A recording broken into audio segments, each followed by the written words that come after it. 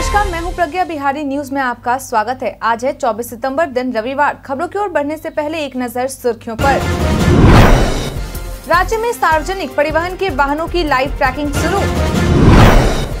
परीक्षाओं में पास कराने का दावा करने वालों के खिलाफ यहाँ करे शिकायत। नलकूप लगाने पर बिहार सरकार से पाए चालीस हज़ार रूपए। ऐसे करे आवेदन। साइबर अपराधियों के मोबाइल का आईएमईआई नंबर होगा बंद। टीम इंडिया आज दूसरे वनडे में सीरीज़ अपने नाम करने उतरेगी मैदान में। अब चले बढ़ते हैं बिहार के अब तक की 25 बड़ी खबरों की ओर विस्तार से। ईसीआईएल ने अप्रेंटिस के चार सौ चौरासी पदों पर निकाली भर्ती। Electronics corporation of India limited के द्वारा अप्रेंटिस के चार सौ चौरासी पदों के लिए भर्ती निकाली गई है। ऐसे में वे अभ्यर्थी जो इन पदों के लिए आवेदन करने के इच्छुक हैं, वे आवेदन प्रक्रिया शुरू होने के बाद ईसीआईएल की आधिकारिक website H T T P S colon slash slash W W W dot E C I L dot C O dot in पर जाकर आवेदन कर सकते हैं। बता दें कि आवेदन करने की शुरुआत 25 सितंबर से होने वाली है। वहीं आवेदन करने की अंतिम तारीख 10 अक्टूबर 2023 तक निर्धारित की गई है। इसके लिए अगर शैक्षणिक शैक्षणिक योग्यता की बात करें तो उम्मीदवार को संबंधित ट्रेड में आईटीआई होना आवश्यक है। इसके अलावा एजुकेशन क्वालिफिकेशन से जुड़ी ज़्यादा जानकारी के लिए उम्मीदवार एक बार जारी किए गए आधिकारिक नोटिफिकेशन को ज़रूर देख लें। साइबर अपराधियों के मोबाइल का आईएमईआई नंबर होगा बंद। राज्य में बढ़ते साइबर क्राइम को देखते हुए पुलिस मुख्यालय के निर्देश पर आर्थिक अपराध इकाई के द्वारा national cyber crime reporting portal के माध्यम से साइबर अपराधियों के मोबाइल नंबर, सिम को और मोबाइल के आईएमईआई नंबर को निष्क्रिय करने की कवायद शुरू कर दी गई है। बता दें कि यह प्रक्रिया मई 2023 से प्रारंभ की गई है।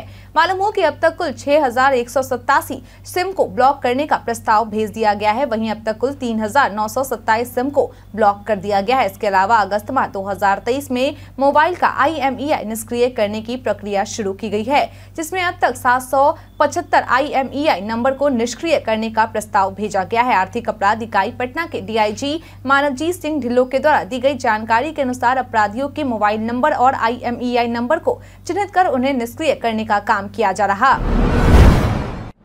बिहार पर्यटन में आज हम बात करेंगे पत्थर कट्टी के बारे में। पत्थरकट्टी बिहार के गया ज़िले का एक छोटा सा गाँव है और यह शहर से करीब 20 किलोमीटर की दूरी पर मौजूद है। इस गाँव का मुख्य पेशा पत्थर को तराश कर खूबसूरत मूर्ति बनाना है। परंपरागत रूप से यह काम गौर ब्राह्मणों तक सीमित था, जो इंदौर की रानी अहिल्याबाई के निमंत्रण पर राजस्थान से यहाँ आए थे। ऐसा कहा जाता है की प्रसिद्ध विष्णुपद मंदिर का निर्माण इन्हीं गौर ब्राह्मणों द्वारा हुआ था। इस जगह की खासियत यह है कि यहाँ के स्थानीय कारीगर काले कठोर पत्थर पर नक्काशी करते हैं, जो कि अपने आप में हुनर पेशगी का एक अनोखा नमूना है। पत्थर कट्टी पत्थरों से बनी चीज़ों के लिए काफ़ी प्रसिद्ध है। यहाँ के कुशल कारीगर ग्रेनाइट, सफ़ेद बलुआ पत्थर, संगमरमर को विभिन्न स्वरूप देने में माहिर है। इन पत्थरों से घरेलू सामान जैसे थाली, कटोरा इत्यादि बनाए जाते हैं। अगर आप पत्थर से बनी चीज़ों के शौकीन है तो पत्थर कट्टी ज़रूर जाए। राज्य में सार्वजनिक परिवहन के वाहनों की लाइव ट्रैकिंग शुरू। अब राज्य में सार्वजनिक वाहन जैसे बस, कैब आदि को सावधान रहने की ज़रूरत है, क्योंकि अब उनकी लाइव ट्रैकिंग शुरू हो गई है। दरअसल, सार्वजनिक वाहनों में व्हीकल लोकेशन ट्रैकिंग डिवाइस लगाया गया है ताकि उनकी मॉनिटरिंग की जा सके। वहीं इसके लिए विभाग की ओर से कमांड एंड कंट्रोल सेंटर भी बनाया गया है, जहाँ से सार्वजनिक वाहनों पर नज़र रखी जाएगी। आपकी जानकारी के लिए बता दें कि विभाग की ओर से जारी रिपोर्ट से यह जानकारी निकलकर सामने आई है कि इक्कीस सितंबर तक सभी जिलों में गति सीमा का उल्लंघन करते हुए कुल दो हज़ार तीन सौ ग्यारह सार्वजनिक वाहनों का चालान चालान काटा गया है। विभाग के सचिव संजय कुमार अग्रवाल के द्वारा बताया गया कि पिछले एक माह में जितनी सार्वजनिक वाहनों के द्वारा गति सीमा का उल्लंघन किया गया है, उनका जिलावार विवरण तैयार किया गया है, ताकि इन सभी वाहनों के मालिक को चालान निर्गत किया जाए। अब राज्य के मालभोग, चिनिया और बत्तीसा का बढ़ेगा स्वाद। कृषि सचिव संजय कुमार अग्रवाल के द्वारा जानकारी देते हुए बताया गया है कि राज्य के परंपरागत के लिए मालभोग, चिनिया और बत्तीसा की खेती के विस्तार के लिए कृषि विभाग के द्वारा पूसा और सबौर कृषि विश्वविद्यालय को इसकी ज़िम्मेदारी दी गई है, जो शोध के ज़रिए इन प्रजातियों में रोग प्रतिरोधक क्षमता विकसित करेंगे और साथ ही पौधारोपण सामग्री का प्रोटोकॉल तैयार करेंगे। वही शोध के बाद आने वाले दिनों में इसका क्षेत्र विस्तार किया जाएगा। दरअसल परम्परागत खेती में उत्पादन की तुलना में लागत अधिक है।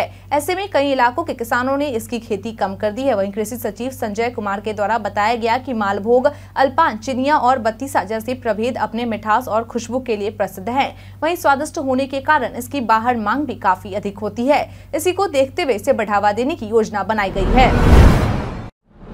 पटना, बख्तियारपुर, रजौली और पटना, गया, डोभी का निर्माण इस दिन तक होगा पूरा। एनएचएआई के चेयरमैन संतोष कुमार यादव के द्वारा पटना, बख्तियारपुर बख्तियारपुर, रजौली और पटना गया डोभी तीन महत्वाकांक्षी निर्माणाधीन एनएच को संबंधित निर्माण एजेंसियों, एनएचएआई के अधिकारियों और अभियंताओं को दिसंबर 2023 तक पूरा करने का निर्देश दिया गया है। जिसके बाद तीनों एनएच से गुजरने के लिए आम लोगों को टोल टैक्स देना होगा। बता दें कि फ़िलहाल पटना, बख्तियारपुर, एनएच पर दीदारगंज के पास टोल प्लाजा बना हुआ है और वहाँ टोल टैक्स की वसूली हो रही है। वही बख्तियारपुर, रजौली में भागन बिघा के पास और पटना गया, डोभी एनएच में, जहानाबाद और गया ज़िले में टोल प्लाजा का निर्माण किया जा रहा, जहाँ टैक्स की वसूली केंद्रीय मंत्रालय की अधिसूचना के बाद शुरू की जाएगी। बीपीएससी सड़सठवीं परीक्षा के डॉक्यूमेंट अपलोड करने की विंडो खुली। अगर आप भी उन अभ्यर्थियों में से हैं जिन्होंने बीपीएससी सड़सठवीं की मुख्य परीक्षा में भाग लिया था। तो यह खबर आपके लिए है। बता दें कि बिहार लोक सेवा आयोग के द्वारा बीपीएससी सड़सठवीं मुख्य परीक्षा में भाग लेने वाले अभ्यर्थियों के लिए डॉक्यूमेंट अपलोड करने के लिए विंडो खोल दिए गए हैं। ऐसे में अब अभ्यर्थी बीपीएससी की आधिकारिक वेबसाइट bpsc.bis.nic.in पर जाकर जारी किए गए नोटिस को देख सकते हैं, जिसमें कहा गया है कि जिन भी अभ्यर्थियों के द्वारा जो सड़सठवीं मुख्य परीक्षा में भाग लिए थे, लेकिन उन्होंने निर्धारित तिथि के अंदर दस्तावेज़ अपलोड नहीं किया है, वे आज यानी कि 24 सितंबर तक दस्तावेज़ अपलोड कर सकते हैं। हालाँकि इस बीच इस बात की ध्यान रखें कि डॉक्यूमेंट की साइज़ 100 केबी से अधिक नहीं होनी चाहिए। जमुई में बरनार नदी में धसा पुल। बिहार में एक और पुल क्षतिग्रस्त हो गया है। बता दें कि इस बार जमुई के बरनार नदी पर बना हुआ पुल क्षतिग्रस्त हुआ है, जिससे कि लाखों लोगों का आवागमन बाधित हो गया है। बता दें कि लोगों के द्वारा दी गई जानकारी के अनुसार बीते कई दिनों से जमुई में बारिश होने के कारण नदी में पानी का तेज बहाव हो गया था, जिस कारण पुल का चार पिलर धस गया। वही सूचना पर पहुँचे स्थानीय प्रशासन के द्वारा सुरक्षा को ध्यान में रखते हुए सोनो चुरहते काजवे मार्ग पर परिचालन को पूरी तरह रोक दिया गया है। बता दें कि पुल के दोनों ओर बैरिको कोडिंग कर दी गई है। वहीं स्थानीय लोगों के द्वारा गलत तरीके से बालू खनन करवाने का आरोप लगाया गया है। उनका कहना है कि इसी कारण पुल ध्वस्त हो गया है। बिहार लीची उत्पादक संघ को मिला राष्ट्रपति से सम्मान। नई दिल्ली के पूसा स्थित भारतीय कृषि अनुसंधान परिषद के सभागार में आयोजित समारोह में राष्ट्रपति द्रौपदी मुर्मू के द्वारा विलुप्त हो चुकी लीची की 12 प्रजातियों के संरक्षण के लिए बिहार लीची उत्पादक संघ के अध्यक्ष बच्चा प्रसाद सिंह को पुरस्कार देकर सम्मानित किया गया और साथ ही दस लाख रूपए की राशि भी दी गई जिसका इस्तेमाल विलुप्त हो रही लीची की प्रजातियों के संरक्षण आरोप किया जाएगा। बता दें इस बारे में संघ के अध्यक्ष के द्वारा जानकारी देते हुए बताया गया है की उनके द्वारा जिन बारह प्रजातियों के लीची का संरक्षण किया गया है, उनमें गंडकी संपदा, गंडकी योग्यता, गंडकी लालिमा, रोज सेटेंड स्वर्ण रूपा अर्ली बेदाना, लिट बेदाना, लुंगिया, त्रिकोलिया, मंदरांची, पूर्वी और लोगन प्रजाति शामिल है। वहीं इसके अलावा उन्हें पैकिंग के क्षेत्र में भी बेहतर कार्य करने के लिए भी सम्मान मिला है। मुखिया महासंघ ने अधिकार लेने के फैसले पर जताई नाराज़गी। पंचायती राज विभाग के अपर मुख्य सचिव मिहिर कुमार सिंह की ओर से आदेश जारी कर यह जानकारी दी गई है कि बिहार सरकार की ओर से नियमों में बदलाव करते हुए अब अगर मुखिया ग्राम पंचायत किसी भी कारण से 30 दिन तक गैर हाजिर रहता है तो उनके बदले उप मुखिया स्वतः कार्यभार संभाल लेंगे, यानी कि मुखिया बदल जाएँगे। बता दें कि पहले यह अवधि 60 दिनों की थी, जिसे अब घटाकर 30 दिन कर दिया गया है। वहीं अब विभाग के इस फैसले पर बिहार प्रदेश मुखिया महासंघ के अध्यक्ष मिथिलेश कुमार राय के द्वारा इस पर नाराज़गी व्यक्त करते हुए कहा गया है कि विभाग को या तो जानकारी का अभाव है या अज्ञानता के अभाव में अनावश्यक पत्र निकाला जा रहा है। विभाग राज्य भर के मुखिया द्वारा किए जा रहे आंदोलन से घबरा गए हैं, इसलिए यह नियम विरुद्ध पत्र जारी किया गया है। बीटीआर के बीच बनेगा अंतर्राष्ट्रीय कन्वेंशन सेंटर। सीएम नीतीश इस दिन करेंगे उद्घाटन। प्रकृति की गोद में वीटीआर के बीच अंतर्राष्ट्रीय कन्वेंशन सेंटर का निर्माण किया जा रहा है, जिसके अंदर पर्यटक पहाड़ों का मनोरम दृश्य और गंडक नदी की धारा को देख सकेंगे। तो वहीं दूसरी तरफ़ पर्यटकों को जंगल की हरियाली देखने को मिलेगी। बता दें कि इस अंतर्राष्ट्रीय कन्वेंशन सेंटर में चार अतिथि भवन, एक डोमेट्री, एक 500 सीट वाला मीटिंग हॉल, भोजनालय 102 कमरों का शक्ति गृह एवं पार्क का निर्माण किया जा रहा। मालूम हो कि यह निर्माण कार्य वर्ष 2024 के 14 जनवरी तक पूरा हो जाने की संभावना जताई गई है। वहीं अगर इस अंतर्राष्ट्रीय कन्वेंशन सेंटर के उद्घाटन की बात करें तो भवन विभाग के सचिव कुमार रवि के द्वारा दी गई जानकारी के अनुसार इसका उद्घाटन बिहार के मुख्यमंत्री नीतीश कुमार के द्वारा किया जा सकता है। नलकूप लगाने पर बिहार सरकार से पाए चालीस हज़ार रूपए, ऐसे करे आवेदन। अगर आप भी किसान हैं और उन क्षेत्रों में रहते हैं जहाँ सिंचाई की बेहतरीन सुविधा नहीं मिलती है तो यह खबर आपके लिए है। बता दें कि बिहार सरकार के उद्यान निदेशालय, कृषि विभाग के द्वारा जल जीवन हरियाली अभियान के तहत हर खेत तक सिंचाई का पानी सूक्ष्म सिंचाई योजना के अंतर्गत व्यक्तिगत नलकूप लगाने पर कृषक को अधिकतम चालीस हज़ार रूपए तक सब्सिडी देने का प्रावधान है। हालाँकि इस योजना का लाभ उठाने वाले किसानों के लिए कुछ पात्रता भी निर्धारित की गई है, जिसके तहत किसान के पास शून्य दशमलव चार शून्य एकड़ की कृषि योग्य भूमि होनी चाहिए और साथ ही किसानों को भू धारकता का प्रमाण पत्र एलपीसी देना होगा और इसके अलावा सत्तर मीटर तक की चार से छह इंच व्यास वाले नलकूप स्थापित करने होंगे। इस योजना से जुड़ी अधिक जानकारी एवं योजना का लाभ लेने हेतु online H T P colon slash slash horticulture dot Bihar dot G O V dot in पर विज़िट कर सकते हैं। बिहार के कई जिलों में बारिश के आसार। बिहार में पिछले कुछ दिनों से हो रही मूसलाधार बारिश की वजह से तापमान में गिरावट देखी जा रही है। बता दें कि मौसम विभाग ने अगले 24 घंटे तक बारिश को लेकर अलर्ट जारी किया है। विभाग की माने तो निम्न दबाव और चक्रवातीय परिसंचरण का क्षेत्र बनने के कारण प्रदेश में इतनी बारिश हो रही। प्रदेश के कई जिलों में येलो अलर्ट तो कई जिलों के लिए ऑरेंज अलर्ट जारी किया गया है। चौबीस सितंबर को लेकर जारी अपडेट में यह बताया गया है की प्रदेश के उत्तर पूर्व और दक्षिण पूर्व के जिलों में एक या दो स्थानों में वज्रपात के साथ मेघ होने की संभावना संभावना है। इन इलाकों में येलो अलर्ट जारी किया गया है तो वहीं किशनगंज अररिया और सुपौल जिलों में एक या दो स्थानों में अति भारी बारिश की संभावना जताई गई है। इन इलाकों में ऑरेंज अलर्ट जारी किया गया है। पूर्णिया, कटिहार, मधेपुरा, मधुबनी जिलों में एक या दो स्थानों में भारी बारिश की संभावना जताई गई है। पच्चीस सितंबर को लेकर जारी अपडेट में यह बताया गया है की प्रदेश में बारिश होने की संभावना न के बराबर है। परीक्षाओं में पास कराने का दावा करने वालों के खिलाफ यहाँ करे शिकायत। बिहार सरकार के गृह विभाग के द्वारा आईपीआरडी बिहार पर एक पोस्ट शेयर कर जालसाजों से सावधान रहने की बात कही गई है। बता दें कि इस पोस्ट में बताया गया है कि परीक्षा में पास कराने के नाम पर पैसों की मांग करने वालों से सतर्क रहें। बीपीएससी, सिपाही भर्ती, शिक्षक बहाली एस जैसे परीक्षाओं में पास कराने का दावा करने वाले कई ठग गिरोह सक्रिय हैं जो अभ्यर्थियों को फ़ोन कर उनसे पैसे की डिमांड कर परीक्षा में पास कराने का दावा करते हैं। ऐसे में अभ्यर्थी इस तरह के झांसे में न आए और अगर आपको भी इस तरह का कोई कॉल आता है तो तुरंत इसकी शिकायत करें। बता दें कि शिकायत करने के लिए तुरंत नजदीकी थाना साइबर थाना या एक नौ तीन शून्य पर कॉल कर सकते हैं। इसके अलावा शिकायतकर्ता डब्ल्यू पर भी विज़िट कर इस संबंध में शिकायत दर्ज करा सकते हैं। सुपौल की बेटी का रग्बी फुटबॉल टीम में हुआ चयन। रग्बी फुटबॉल संघ के अध्यक्ष शारदानंद झा के द्वारा दी गई जानकारी के अनुसार 30 सितंबर से 1 अक्टूबर तक चीन के ताइपे में आयोजित होने वाले Asian under 18 rugby football championship के लिए भारतीय टीम में बिहार के सुपौल ज़िले के निर्मली बाज़ार की रहने वाली अंशु कुमारी का भी उनके अच्छे प्रदर्शन को देखते हुए चयन किया गया है। बता दें कि अंशु कुमारी पिछले एक माह से रग्बी इंडिया द्वारा उड़ीसा में आयोजित नेशनल कैंप में अभ्यास कर रही है। वही अंशु का भारतीय टीम में चयन होने पर उसके परिवार सहित आसपास के लोगों में काफ़ी खुशी का माहौल है। अंशु की इस उपलब्धि पर सभी के द्वारा खुशी व्यक्त करते हुए पूरी उम्मीद जताई गई है कि वह मेडल जीतकर देश सहित अपने राज्य और ज़िले का नाम रोशन करने का काम करेंगी। पटना हावड़ा वंदे भारत एक्सप्रेस का इस दिन से नियमित परिचालन होगा शुरू। आज यानी कि 24 सितंबर को देश के प्रधानमंत्री नरेंद्र मोदी के द्वारा वीडियो कॉन्फ्रेंसिंग के ज़रिए पटना हावड़ा वंदे भारत एक्सप्रेस समेत कुल नौ वंदे भारत एक्सप्रेस का उद्घाटन किया जाएगा, जिसके बाद पटना हावड़ा वंदे भारत एक्सप्रेस के नियमित परिचालन की शुरुआत छब्बीस सितंबर ऐसी हो जाएगी। बता दें की अब बुधवार को छोड़कर हफ़्ते में छह दिन चलेगी। ऐसे में गाड़ी संख्या दो दो, तीन, चार, आठ पटना हावड़ा वंदे भारत ट्रेन छब्बीस सितंबर से पटना जंक्शन से सुबह आठ बजे खुलेगी और पटना साहिब, मोकामा, लखीसराय, जसीडीह, जामतारा, आसनसोल और दुर्गा दुर्गापुर में रुकते हुए दिन के दो पैंतीस बजे हावड़ा पहुंचेगी। वहीं वापसी में गाड़ी संख्या दो दो, तीन, चार, सात, हावड़ा, पटना, वंदे भारत ट्रेन दोपहर बाद तीन पचास बजे हावड़ा से खुलेगी और रात दस चालीस बजे वापस पटना जंक्शन पहुंचेगी। प्रमंडल स्तर पर गठित होगा दुर्घटना दावा ट्रिब्यूनल। सड़क दुर्घटना में मृत व्यक्ति के आश्रितों तथा घायलों के लिए मुआवजा की राशि तय करने के लिए अब जिला स्तर के बजाय प्रमंडल स्तर पर दुर्घटना दावा ट्रिब्यूनल गठित किया जाएगा। इसके लिए नियमावली तैयार हो गई है।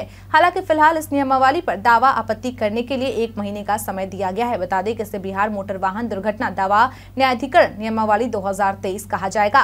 मालूम हो कि इसके बाद किसी भी वाहन दुर्घटना में मुआवजा को लेकर ट्रिब्यूनल में ही आवेदन दिए जाएँगे, जिसके बाद ट्रिब्यूनल के आदेश पर संबंधित बीमा कंपनी मुआवजे का भुगतान करेगी। बता दें कि जिस प्रमंडल में दुर्घटना होगी, वहाँ के संबंधित ट्रिब्यूनल में सुनवाई होगी। हर ट्रिब्यूनल में एक अध्यक्ष होंगे, जिनकी नियुक्ति परिवहन विभाग के अपर मुख्य सचिव या प्रधान सचिव या सचिव की अध्यक्षता में गठित स्क्रीनिंग समिति की अनुशंसा पर मुख्यमंत्री के अनुमोदन से होगी। पटना में कोचिंग संचालक खान सर ने अमिताभ बच्चन को पढ़ाया फिजिक्स। बच्चों को पढ़ाने के अपने अनूठे शैली के कारण पटना के खान सर आज पूरे देश भर में जाने जाते हैं। बता दें कि वह बहुत जल्दी खान सर सोनी टीवी पर अमिताभ बच्चन के लोकप्रिय शो कौन बनेगा करोड़पति में बतौर गेस्ट के रूप में हॉट शीट पर बैठे नज़र आने वाले हैं। वहीं इस दौरान इनके साथ यूट्यूब के लोकप्रिय कलाकार जाकिर खान भी नज़र आने वाले हैं। बता दें कि सोनी टीवी की ओर से इस शो का टीजर जारी कर दिया गया है। बता दें कि जारी किए गए एक प्रोमो में खान सर अमिताभ बच्चन का फिजिक्स पढ़ाते हुए नज़र आ रहे हैं, जिसमें वो अमिताभ बच्चन से कहते हैं कि ये यानी कि जाकिर खान सख्त हैं तो ये न्यूट्रॉन हो गए। न इन्हें प्लस से मतलब है और न ही माइनस से, और हम हो गए प्रोटॉन। हम दोनों एक साथ रहते हैं न्यूक्लियस में। आप यानी कि बिग बी माइनस में है, क्योंकि आप इलेक्ट्रॉन हैं। अब हम चाहेंगे कि हम आपको खींचे और आप हमें खींचेंगे, और हम दोनों दम लगाएँगे तो दोनों गोल गोल घूमने लगेंगे। खान सर के इन बातों को सुनकर अमिताभ बच्चन कहते हैं कि जो आपने अभी सिखाया है, उसे ज़िंदगी भर नहीं भूलूँगा। बिहारी बर्थडे स्पेशल में आज हम बात करेंगे ए एफ़ सलाउद्दीन अहमद के बारे में। ए एफ़ सलाउद्दीन अहमद का जन्म आज ही के दिन 1924 में बिहार के मोतिहारी में हुआ था। यह एक बांग्लादेश इतिहासकार, मानवतावादी और तर्कवादी विचारक थे। वह राजशाही विश्वविद्यालय में व्याख्याता पाठक और फिर इतिहास के प्रोफेसर थे। वह जहांगीर नगर विश्वविद्यालय और ढाका विश्वविद्यालय में इतिहास के प्रोफेसर भी थे, जहाँ से वह उन्नीस सौ चौरासी में सेवानिवृत्त हुए। उन्नीस में अहमद को पेसिल्वेनिया विश्वविद्यालय में दक्षिण एशिया इतिहास में विजिटिंग लेक्चरर के रूप में अमेरिकन हिस्टोरिकल एसोसिएशन द्वारा आमंत्रित किया गया था। शिकागो विश्वविद्यालय वह उन्नीस सौ छप्पन में क्योटो विश्वविद्यालय, जापान में यूनेस्को सांस्कृतिक फेलो भी थे। अहमद स्वतंत्र विश्वविद्यालय बांग्लादेश में राष्ट्रीय संस्कृति और विरासत के प्रोफेसर के रूप में और बांग्लादेश के राष्ट्रीय सामाजिक विज्ञान संघ के अध्यक्ष और बांग्लादेश के संयुक्त राष्ट्र संघ के अध्यक्ष के रूप में कार्य कर चुके हैं। उन्हें एकुसे पदक बांग्लादेश, स्वाधीनता पदक और बांग्लादेश सरकार द्वारा राष्ट्रीय प्रोफेसर की नियुक्ति कर सम्मानित किया गया था। तीन फ्लोर का होगा पटना मेट्रो का रुकनपुरा में भूमिगत स्टेशन। बिहार की राजधानी पटना में मेट्रो स्टेशन के निर्माण कार्य में तेज़ी आ गई है। इसी कड़ी में रुकनपुरा में बनने वाले एक सौ बासठ मीटर लंबा और 27 मीटर चौड़ा भूमिगत स्टेशन तीन मंजिला होगा, जिसमें कई तरह की सुविधाएँ लोगों को मुहैया कराई जाएँगी। बता दें कि रुकनपुरा भूमिगत स्टेशन में तीन गेट, चार लिफ्ट और आठ एक्सलेटर का निर्माण किया जाएगा। मालूम हो कि रुकनपुरा भूमिगत स्टेशन के निर्माण के लिए पटना मंत्री रेल कॉरपोरेशन के प्रस्ताव पर जिला प्रशासन की ओर से ज़मीन अधिग्रहण की प्रक्रिया की शुरुआत कर दी गई है। बता दें कि मिली जानकारी के अनुसार इस तीन मंजिला भूमिगत स्टेशन के पहले फ्लोर पर टिकट काउंटर का निर्माण किया जाएगा तो वही दूसरे फ्लोर पर यात्रियों के लिए अन्य सुविधाएँ होंगी और तीसरे फ्लोर पर यात्री पटना मेट्रो जंक्शन और दानापुर कैंट की तरफ़ जाने के लिए ट्रेन पकड़ सकेंगे। लोकसभा चुनाव को लेकर एनआरजेडी नेताओं को मिली नई ज़िम्मेदारी 2024 में होने वाले लोकसभा चुनाव को लेकर सभी पार्टियों की ओर से अपनी अपनी तैयारी शुरू कर दी गई है। इसी कड़ी में अब प्रदेश राजद के प्रवक्ता एजाज अहमद के द्वारा दी गई जानकारी के अनुसार राष्ट्रीय अध्यक्ष लालू प्रसाद के निर्देश पर युवा राजद के प्रदेश अध्यक्ष राजेश यादव के द्वारा पार्टी के नेताओं को बड़ी ज़िम्मेदारी सौंपते हुए प्रदेश पदाधिकारियों की सूची जारी कर दी गई है, जिसमें पंद्रह प्रदेश उपाध्यक्ष, इक्यासी प्रदेश महासचिव, जिनमें से चार महासचिव को प्रदेश मुख्यालय का प्रभारी भी बनाया गया है।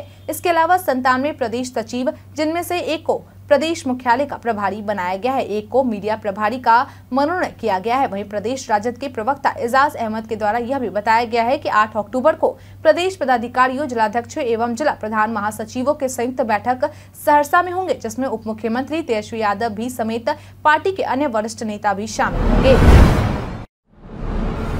टीम इंडिया आज दूसरे वनडे में सीरीज़ अपने नाम करने उतरेगी मैदान में। बीते 22 सितंबर को भारतीय टीम की ओर से तीन मैचों की वनडे सीरीज़ के पहले मैच में ऑस्ट्रेलिया को पाँच विकेट से हराते हुए सीरीज़ में एक शून्य से बढ़त बना ली थी। वहीं आज यानी कि 24 सितंबर को भारत और ऑस्ट्रेलिया के बीच सीरीज़ का दूसरा वनडे मुकाबला खेला जाना है। ऐसे में आज का यह मैच टीम इंडिया जीतने के इरादे से मैदान में उतरेगी ताकि वह इस सीरीज़ को अपने नाम कर सके। वहीं ऑस्ट्रेलिया के लिए आज का यह मुकाबला करो या मड़ो का मुकाबला होने वाला है। आपकी जानकारी के लिए बता दें कि आज का यह मैच होलकर स्टेडियम में दोपहर डेढ़ बजे से खेला जाएगा। मालूम हो कि भारतीय टीम वर्सेस ऑस्ट्रेलिया टीम के बीच वनडे में हेड टू हेड रिकॉर्ड को देखें तो दोनों टीमों के बीच अब तक कुल एक वनडे मैच खेले गए हैं, जिनमें से बेरासी मैच टीम ऑस्ट्रेलिया ने जीते हैं, जबकि भारत को पचपन मैचों में जीत मिली है। इसके अलावा दोनों टीमों के बीच दस मैच बेनतीजा रहे हैं। हालाँकि हालिया फॉर्म को देखते हुए भारतीय टीम का पलड़ा भारी लग रहा है। ऐसे में आज का यह मैच बेहद ही रोमांचक होने वाला है। भारत के इतिहास में आज की तारीख है कई कारणों से दर्ज ईस्ट इंडिया कंपनी को 1726 में मुंबई, कलकत्ता और मद्रास में नगर निगम और महापौर अदालतों को बनाने के लिए अधिकृत किया गया। डॉक्टर भीमराव अंबेडकर और महात्मा गांधी के बीच पुणे की यरवड़ा सेंट्रल जेल में दलितों के लिए विधानसभाओं में सीटें सुरक्षित करने को लेकर 1932 में एक विशेष समझौता हुआ। बंगाल की क्रांतिकारी राष्ट्रवादी प्रतिलिता वाडेदार 1932 में देश की आज़ादी के लिए प्राण न्यौछावर करने वाली पहली महिला बनी। भारतीय क्रिकेटर कपिल देव को थल सेनाध्यक्ष जनरल दीपक कुमार ने 2008 को एक समारोह में प्रादेशिक सेना में लेफ्टिनेंट कर्नल की मानद पदवी प्रदान की। मद्रास उच्च न्यायालय ने 2008 को राजीव गांधी हत्याकांड में नलिनी और दो अन्य दोषियों की समय पूर्व रिहाई संबंधी याचिका खारिज की। देश के पहले चंद्रयान एक ने 2009 में चाँद की सतह पर पानी खोज निकाला।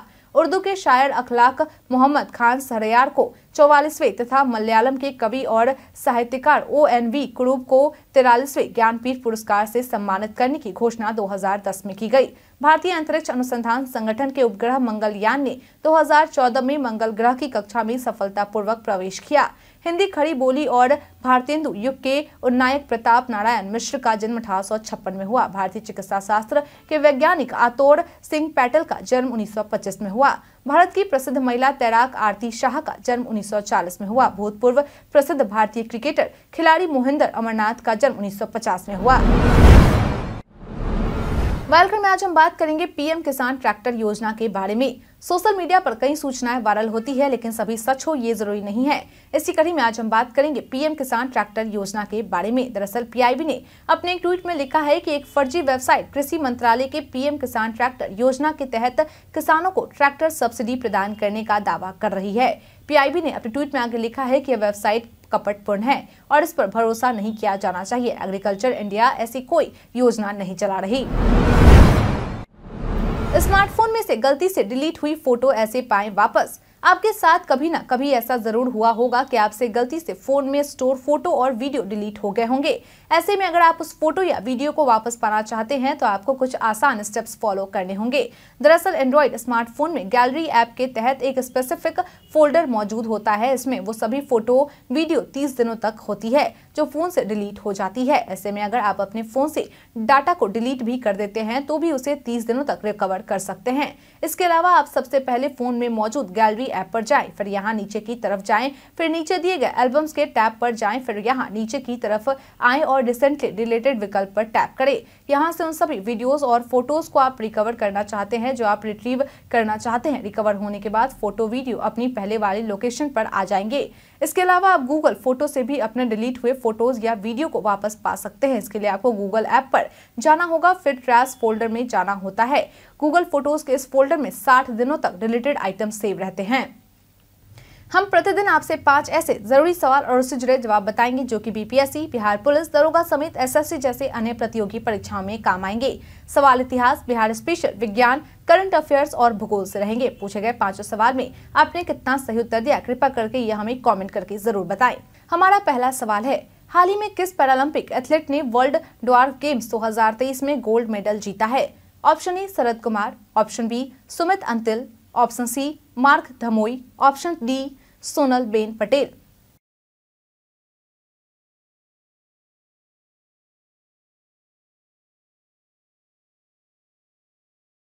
इसका सही उत्तर है ऑप्शन सी मार्क धमोई। अगला सवाल, हाल ही में किस अंतर्राष्ट्रीय कंपनी ने आगामी आईसीसी विश्व कप 2023 के लिए टीम इंडिया की जर्सी तैयार की है? Option A Adidas, option B Puma option C Samsung, option D Nike.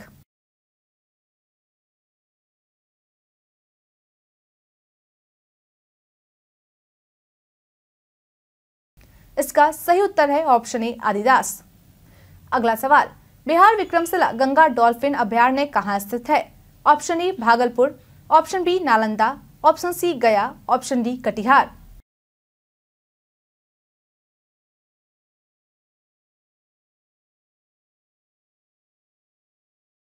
इसका सही उत्तर है ऑप्शन ए भागलपुर। अगला सवाल, कौन सा शहर बिहार के सबसे पूर्वी भाग में स्थित है? Option A Bhagalpur, option B Patna, option C Katihar, option D Purnia.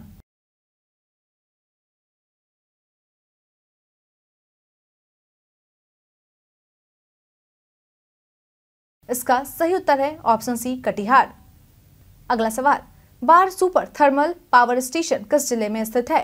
Option A, Patna, option B, Begusarai, option C, Aurangabad, option D, Rohtas. इसका सही उत्तर है ऑप्शन ए, पटना। बीते दिन हमारे तरफ़ पूछे गए सवाल का आप लोगों में से बहुत लोगों ने अपना जवाब हमें हमारे कमेंट सेक्शन बॉक्स में लिख कर दिया है, जिन्होंने हमारे द्वारा पूछे गए सवाल का जवाब दिया है। उनके नाम है रंजीत मिश्रा, राजकिशोर महतो, गोनर शर्मा, मोहम्मद जुबेर आलम, नुन्नो गोलू कुमार, राजू सैलजा कुशवाहा, निखिल कुमार भारती, विष्णुदेव आकांक्षा राज, मोहम्मद सकीर हुसैन, मोहम्मद फहीम प्रयाग सिंह, मुकेश रानी कुमारी नरेश राम। इसके साथ ही बढ़ते हैं आज के सवाल की ओर। आज का सवाल है, आपके अनुसार आज भारत और ऑस्ट्रेलिया के बीच होने वाले दूसरे वनडे मैच में भारतीय टीम जीत हासिल कर सीरीज़ पर कब्जा करने में सफल हो पाएगी या नहीं? अपना जवाब हमें हमारे कमेंट सेक्शन में लिखकर ज़रूर बताएँ। आज के लिए इतना ही। बिहार के तमाम खबरों के साथ बने रहने के लिए देखते रहें बिहारी न्यूज़। और साथ ही अगर आप यूट्यूब से देख रहे हो, चैनल को सब्सक्राइब करना। और अगर आप फेसबुक से देख रहे हो तो पेज को फॉलो करना ना भूले। धन्यवाद।